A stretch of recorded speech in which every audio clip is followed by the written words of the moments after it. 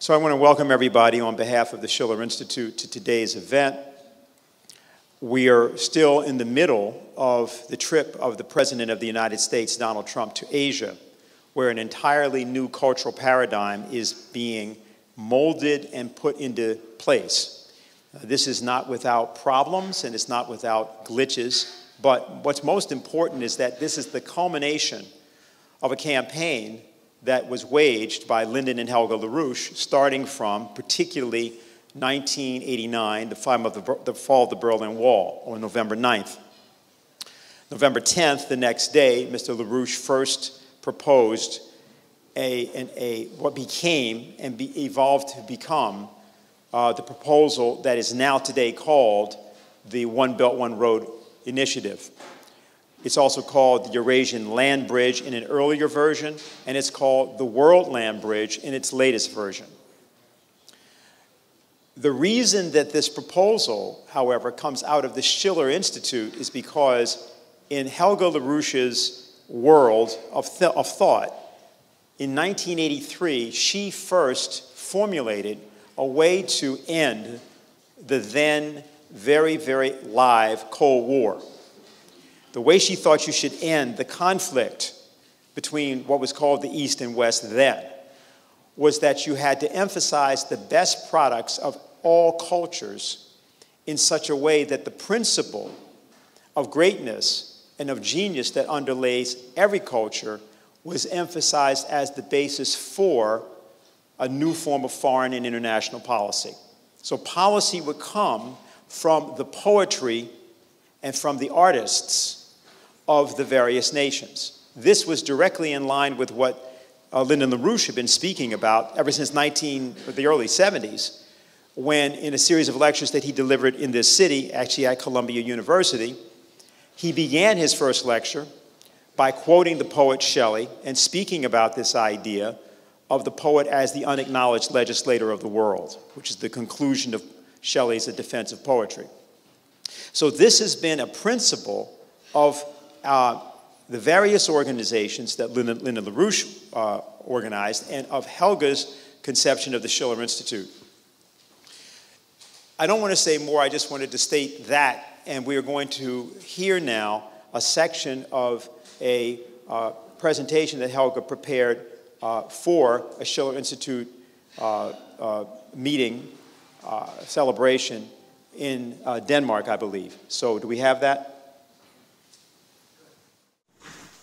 Well, I think Schiller would be uh, very happy um, because, you know, his, the reason why the Schiller Institute is called Schiller Institute is, you know, I could have named this effort to establish a better relation among nations.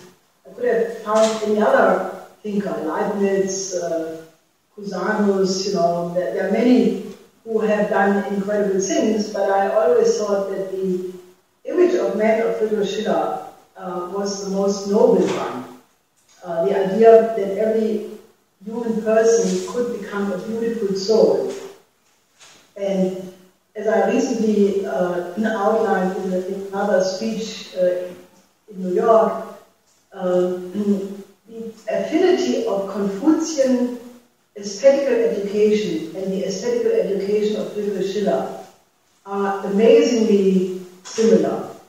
Uh, both Confucius, who after all is 2,500 years um, ago, you know, where he lived, and Friedrich Schiller, who's you know now you know more than 200 years uh, ago, they nevertheless came up with a very similar idea, namely that each human being has the potential to self-perfect without limit uh, to become a genius, and his definition of genius was a beautiful soul. And what Schiller meant by that was the idea that if you find your freedom in necessity uh, and do your duty with passion, I mean, not like a Kantian saying, I have to do my duty, you know, and you, you look completely uh, enraged and you're, moral, but, but you hate it uh, but that you are joyful in, in doing what is good.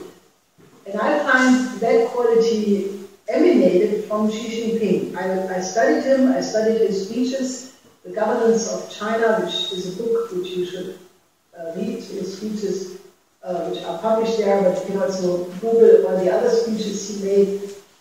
And I came to the conclusion that he is a philosopher, that he's a Confucian Renaissance person. And, you know, I think that Schiller would be just incredibly happy that such a person is a head of state and that he is, uh, you know, streamlining the entire Chinese society according to these ideas. Now, I'm very optimistic about that. I mean, the Western propaganda is naturally freaked out like hell. They say, oh, uh, Xi Jinping is a new Mao Zedong, even a new Stalin. He's concentrating all of this power in his hands. But if you look at it, you, you see that this is not the case. I mean, sure, it is a very centralized uh, system, but it is a meritocracy. It is devoted to the common good of the people, and not only of the Chinese people, but explicitly of all the other participating nations as well. So I think Schiller would recognize this idea of having a vision for a better world because you read his aesthetic letters, he says, you have to, uh, you know, do to your, you have to give your contemporaries what they need and not what they desire. Uh, you have to be uh, the servant of your century, but not its slave.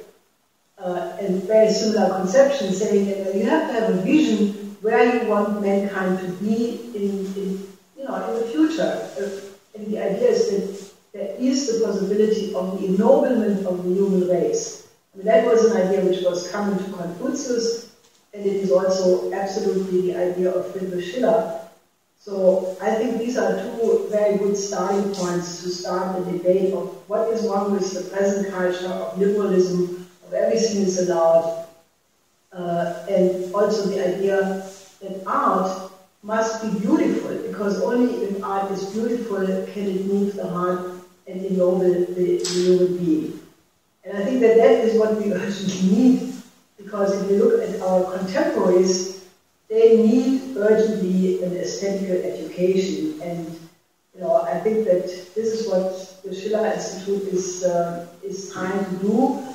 And you know, you cannot deny that what you heard in the beginning, this aria sung by Lena, is more beautiful than what you can hear from Madonna. Uh, despite the fact that Madonna is uh, uh, you know, uh, thinking of herself as uh, she's actually the opposite of what her name says.